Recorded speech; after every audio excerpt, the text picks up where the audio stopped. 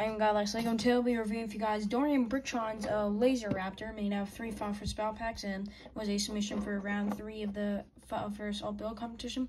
And since you, since you guys are probably wondering, you're wondering why I'm reviewing this on top of the AAT box, that's because this build, like my table doesn't do it justice because my table is just really crap with how it is and everything. So I'm just doing it on top of this box because it would give it would do this build better justice. And reason is just because, as you can see, it's a like so similar to the Velociraptor, just very mechanical and everything, and it doesn't have the best balance, which I'm gonna get that out of the way right now. And I say that's very fixable just because the feet are small and like it'll be really easy just like even just add like a one by four plate somewhere. I think that would help.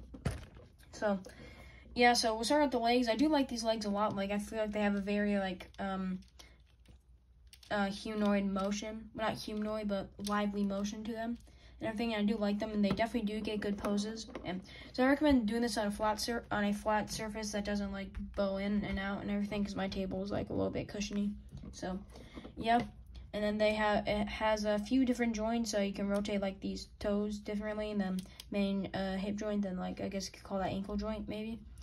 And then back here you have this tail uh, right here that can move uh, up and down, um, a lot more down than up. This is usually the position I put in. And right here, um, these are these cannons. While I do like these cannons, there's one flaw with them is that so this uh, one by two uh, black clip piece was originally uh, right here, but I moved the one part back just because this piece was blocking from having a full range of motion, and also it was kind of hitting this guy. So I so then and then these uh, one by two slope pieces were literally right here. So I I put those to like just brace that and everything, and then and then right here, I decided just to take out the seats where the troopers fit to have this. And doing this just so you guys know this isn't the exact version that Dorian made. Just there are some small modifications I would say to make just because the cannons give them better motion. Then the troops do fall out easily when they're in the configuration that Dorian Bricktron had, and so just laying them down to the studs. So yeah. And then up here you have the head, and I do like this head a lot. It has a very uh, good like way it looks, and then the neck and everything.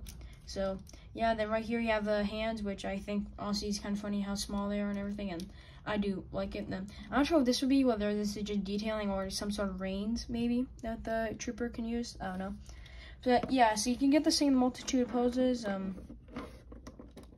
um, uh, sorry, but you can get the same multiple multiple po poses and everything. So yeah, sorry, my brain just got lost for a second. And yeah, that's pretty much all there is to this build. Uh, good detailing on the side and everything. It's very thick and built up. Um, you have some detailing on the bottom to give it more of an underbelly. And yeah, I hope you guys enjoyed this video. I don't care if you like or subscribe. Any comments, leave any builds you guys might want me to do in the future. Yeah, bye.